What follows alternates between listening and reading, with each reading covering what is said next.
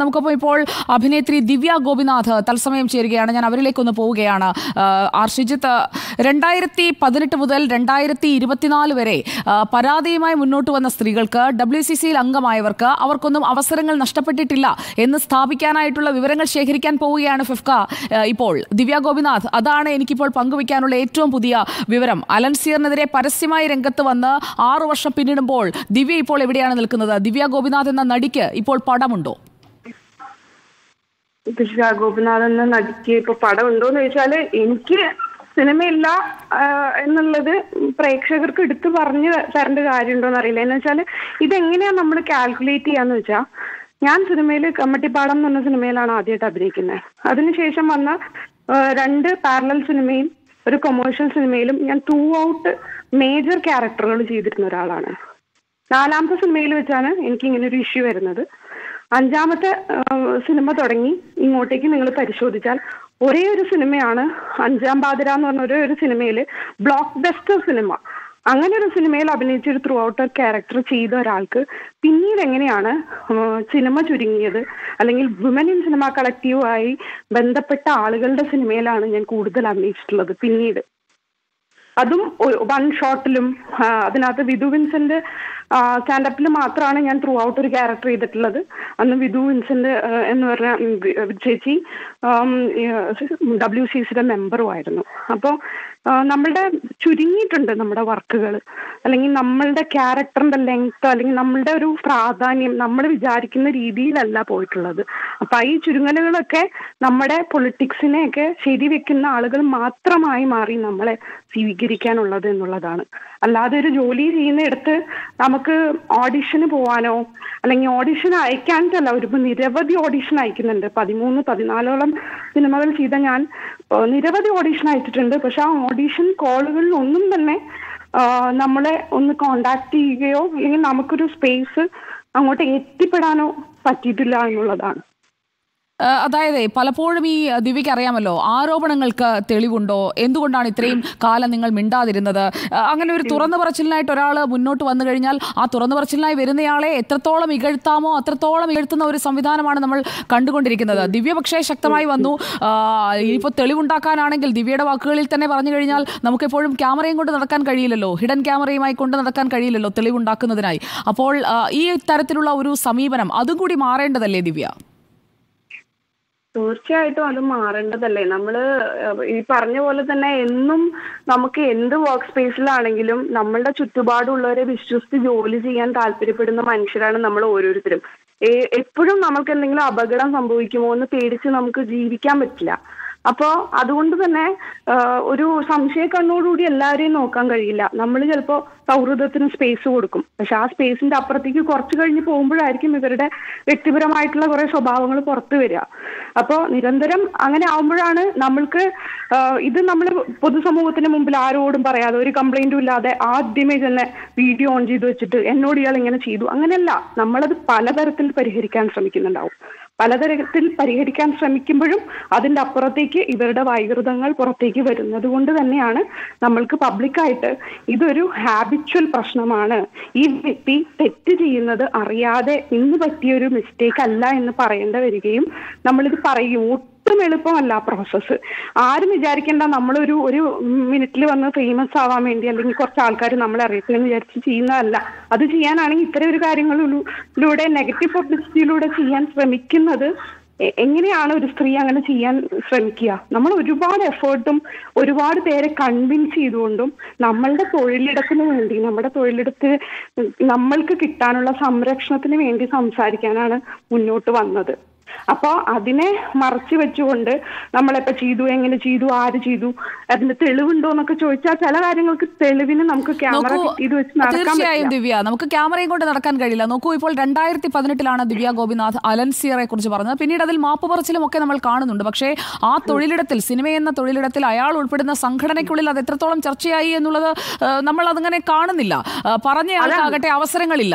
പറഞ്ഞയാളെ പരസ്യമായി ഞങ്ങൾ ഒപ്പമുണ്ടെന്നൊക്കെ പറയുന്നുണ്ടെങ്കിലും അവസരങ്ങൾ ഇല്ലാതാകുന്നത് ഈ അതായത് ഈ ആരോപണം തുറന്നു പറഞ്ഞ അല്ലെങ്കിൽ ഇങ്ങനെ ഒരു മോശം അനുഭവം ഉണ്ടായ വ്യക്തിയാണ് അവിടെ നിന്ന് നിഷ്കാസനം ചെയ്യപ്പെടുന്നത്. മറ്റേയാൾ വളരെ സജീവമായി കൊമ്പ് കുലുക്കി നടക്കുകയാണ്. അതെ. മാപ്പ് പറയുകയും അതിനോടൊപ്പം തന്നെ ആ മാപ്പ് മാപ്പിനെ ഇൻവാലിഡേറ്റ് ചെയ്തുകൊണ്ട് ഒരു സ്റ്റേറ്റ് അവാർഡ് പോലുള്ള സ്പേസിൽ കയറി നിന്ന് ആ പ്രതിമ കൈകൊണ്ട് വാങ്ങിച്ച അദ്ദേഹം പറയുന്നത് സ്ത്രീ പ്രതിമ തന്ന് എന്നെ പ്രലോഭിപ്പിക്കരുതേ എന്നാണ്. അപ്പോ അയാളുടെ മാപ്പ് എങ്ങനെയാണ് സ്വീകരിക്കേണ്ടത്? അത് ഞാൻ ഇപ്പൊ തുറന്നു പറയുന്ന സ്ത്രീകളോട് ചെയ്യുന്ന ഇൻസൾട്ട് ആയിരിക്കും. ആ പറഞ്ഞ വ്യക്തിയുടെ മാപ്പ് സ്വീകരിക്കുക എന്നുള്ളത്. കാരണം എന്താന്ന് വെച്ചാൽ ഒരു അസോസിയേഷൻ ഇത്രയും റെസ്പോൺസിബിൾ ആയിട്ട് ഇത്രയും നന്മകൾ ചെയ്യുന്നു എന്ന് പറയുന്ന ഇത്രയും ആളുകൾക്ക് പെൻഷൻ കൊടുക്കുന്നു അവരുടെ കാര്യങ്ങൾ ചെയ്യുന്നു എന്നൊക്കെ പറയുന്ന അവരുടെ റെസ്പോൺസിബിലിറ്റിയാണ് അവർ നിലനിൽക്കുന്ന തൊഴിലിടത്ത് ഏതൊരു സ്ത്രീയും അവരുടെ സംഘടനയിലുള്ള സ്ത്രീയല്ല ഏതൊരു സ്ത്രീയും ബുദ്ധിമുട്ട് അനുഭവിക്കുന്നുണ്ടെങ്കിൽ അതിന് റെസ്പോൺസിബിൾ ആവുക എന്നുള്ളത്. അവരെത്രത്തോളം അതിന് റെസ്പോൺസിബിലിറ്റി എടുത്തിട്ടുണ്ട്.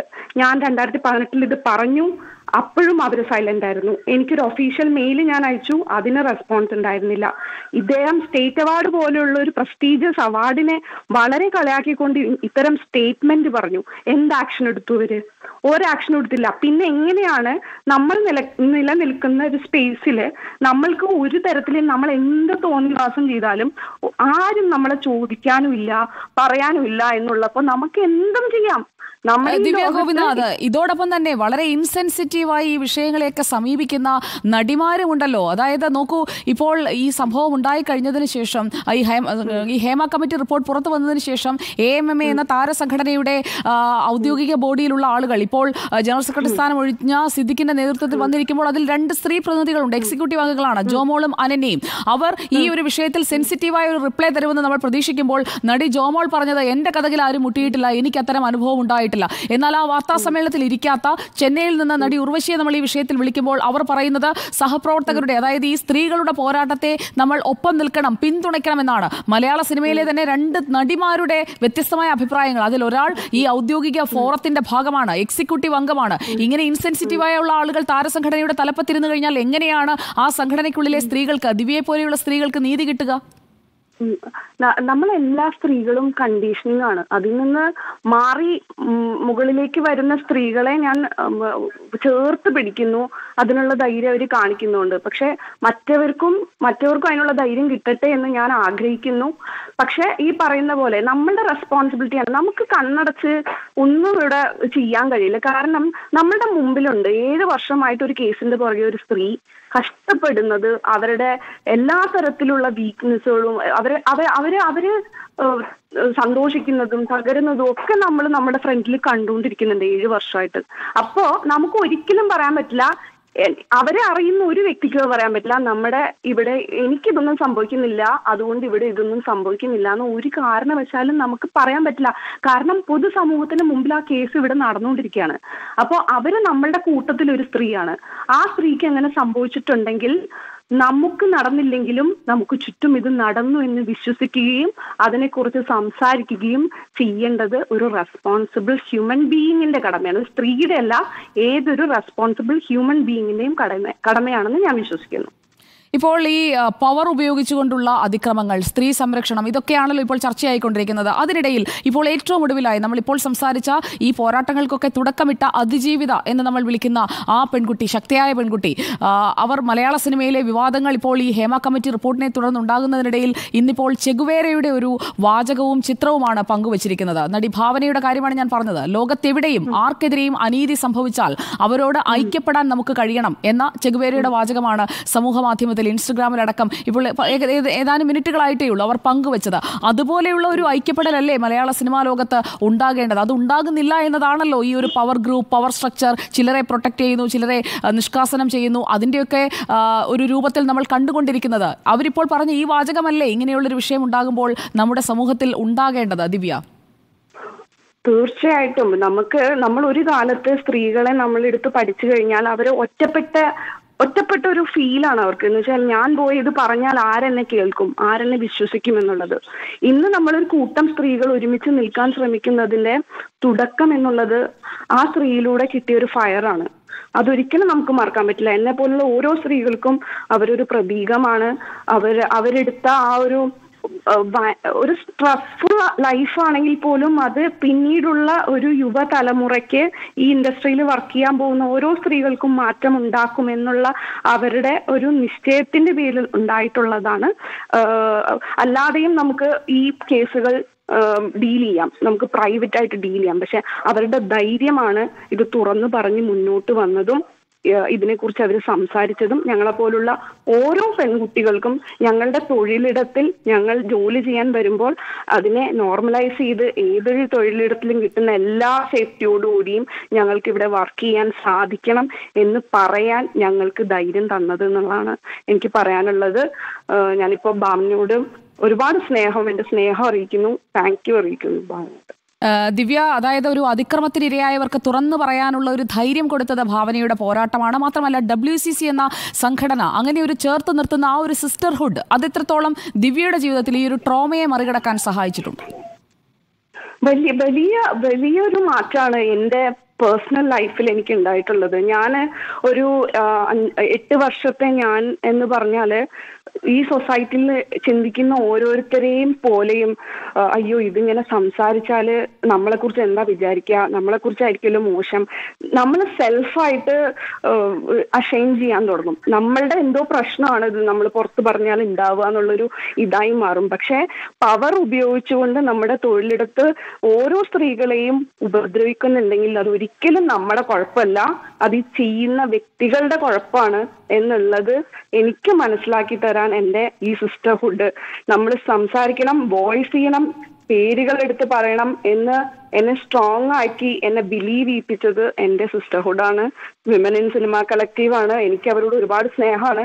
ഞങ്ങൾ തമ്മിൽ പല കാര്യങ്ങൾക്കും അഭിപ്രായങ്ങൾ പറയുകയും അഭിപ്രായ വ്യത്യാസങ്ങൾ പറയുകയും ഒക്കെ ചെയ്യുമെങ്കിലും ഒരു ഐരാർക്കിയും ഇല്ലാതെ എല്ലാവരുടെയും അഭിപ്രായങ്ങൾ കേൾക്കാനിരിക്കുന്നതും അതിലൂടെ ഒരു തീരുമാനങ്ങൾ ഉണ്ടാവാൻ ഞങ്ങൾക്ക് എല്ലാവർക്കും ചേർന്നൊരു കൂട്ടായ്മ ഉണ്ടാവാനൊക്കെ എന്റെ സിസ്റ്റർഹുഡ് എന്നെ ഹെൽപ്പ് ചെയ്തിട്ടുണ്ട്.